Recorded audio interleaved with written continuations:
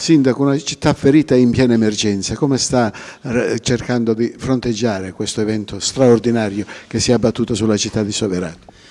Sembra che per Soverato non debba esserci pace in questo, in questo periodo. Dopo l'emergenza dei giorni scorsi adesso c'è stata questa eh, gravissima alluvione che ha messo in ginocchio Soverato. Molte strade eh, sono state divelte, mh, fossi che hanno esondato, eh, muri che sono crollati, ci sono case pericolanti, il morto non c'è scappato per poco, un muro è crollato da una casa eh, eh, posta più in alto ed è andata a finire nel cortile eh, di una casa sottostante schiacciando eh, una, eh, un, completamente un'auto. Abbiamo fatto delle ordinanze per chiudere eh, le scuole, chiudere gli uffici della, dell'ASL che erano totalmente inagibili, come pure dell'Agenzia delle Entrate.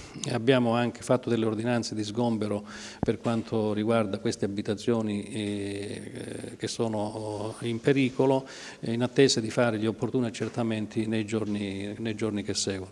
Stiamo intervenendo anche con le forze che abbiamo a disposizione per cercare di mettere in sicurezza i fossi che devono garantire il drenaggio delle acque meteoriche, ma credo che eh, l'eccezionalità dell'evento di ieri sera, eh, o meglio rispetto all'eccezionalità dell'evento ieri sera, credo che ben poco poteva essere fatto per... E noi conosciamo bene la situazione idrologica di Soverato, è necessario oh, predisporre degli interventi, ma sono degli interventi estremamente costosi che solo in un regime di programmazione e di grande attenzione anche delle autorità preposte, lo Stato o la Regione, eh, potranno consentirci di eh, risolvere in modo compiuto e definitivo eh, per mettere in sicurezza la città, che oggi, oggi purtroppo per queste situazioni ataviche in sicurezza non è. Per lei è stata una notata da incubo, perché già da ieri sera sappiamo che si era messo in movimento per cercare di trovare qualche soluzione, quanto allertato anche dalla protezione civile. Noi stanotte eh, ci siamo interfacciati con i carabinieri dramma nel dramma, alla stazione dei Carabinieri purtroppo eh, era eh, al piano ter, in, interrato allagata, priva di corrente. Ciò nonostante eh, tutti eh, gli uomini dell'arma di Soverato come al solito sono resi disponibili, hanno fatto un grande lavoro, salvando anche un disabile che abitando a piano terreno aveva visto la sua casa inondata per circa un metro, rischiava di, eh, di affogare. Eh, con grande coraggio, devo essere eh, estremamente obiettivo, si sono buttati dentro questa casa, lo hanno preso, lo hanno portato via, lo hanno salvato. Eh, dopodiché eh, si è cercato di fare una ricognizione di tutta la situazione complessiva, eh, mettendo in atto tutte eh, diciamo così, le azioni che potessero cercare di alleviare ma, eh, la, questa criticità, ma devo dire che c'era un grande fervore di volontariato, per cui molta gente stava aiutando chi aveva, aveva avuto problemi.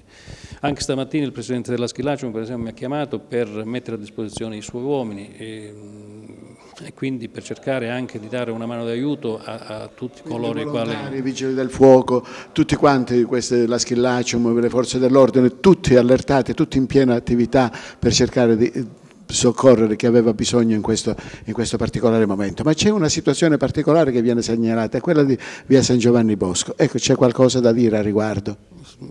Guardi, eh, quello che meraviglia è che in situazioni gravi come queste ancora si ci sia qualcuno che pensa di poter giocare su certe cose. Lì c'è un cantiere, eh, tutti i seminterrati gli interrati di Soverato sono stati allagati, il nostro teatro, il nostro acquario sono stati completamente allagati. Come si fa a dire che la presenza di quel cantiere ha causato l'allagamento di un interrato? Siamo veramente a, a livelli di bassezza morale e culturale che devono fare pensare su sugli sforzi che devono essere fatti in questa città per cambiare eh, eh la, eh, la, situazione. Non c'è nessuna, non nessuna eh, relazione tra le due cose, ad ogni buon conto io ho mandato subito, non appena mi è stato segnalato, eh, il tecnico comunale preposto a verificare la situazione e a prendere le decisioni del caso, ma posso tranquillamente affermare che nessuna relazione vi è tra l'allagamento di quel cimentato come di tutti gli altri interrati che si trovano in via San Giovanni Bosco eh, con quel cantiere. Lei si vede dal viso che è particolarmente provato. Ecco, eh, cosa pensa di fare in questi momenti ancora per cercare di risollevare questa città? Guardi, noi stiamo facendo, intanto stiamo andando a, a, verificare tutte le situazioni che ci sono in atto, dobbiamo censirle, poi programmeremo i primi interventi per le soluzioni immediate. Mi sono già interfacciato con Sua Eccellenza il Prefetto, col Presidente della Giunta regionale, col Presidente del Consiglio regionale. So che domani ci sarà il capo, capo nazionale della Protezione Civile, il Dottor Gabrielli, per cui rispetto a questa situazione noi dovremo intervenire. Certo, abbiamo subito danni notevoli, eh, l'acquario è completamente andato, tutti i macchinari sono oh, completamente sommersi dalle, eh, dalle acque, per cui Solo lì ci sarà un danno che ammonta ad almeno 2 milioni di euro. Il teatro è allagato, le strade sono, allagate, sono, state, sono franate, muri che sono crollati anche su strade eh, ehm, pubbliche, per cui c'è una situazione, fossi e tombini eh, che hanno oh, mostrato la corda in questa situazione che vanno rivisti, cioè eh, bisogna ripartire da questa situazione per fare eh, oggi una seria eh,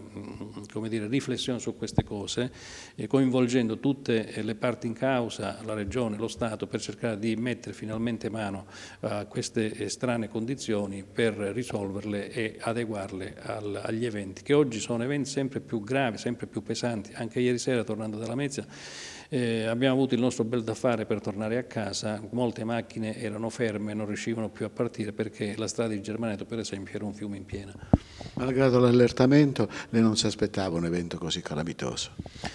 Sicuramente no, però ieri sera ci siamo accorti subito per l'intensità eh, della pioggia, soprattutto la durata, ci sono state almeno tre ore di pioggia terminata verso le 12, eh, verso mezzanotte e mezza, eh, sicuramente non ci saremmo aspettati ma abbiamo capito immediatamente la gravità della, della situazione.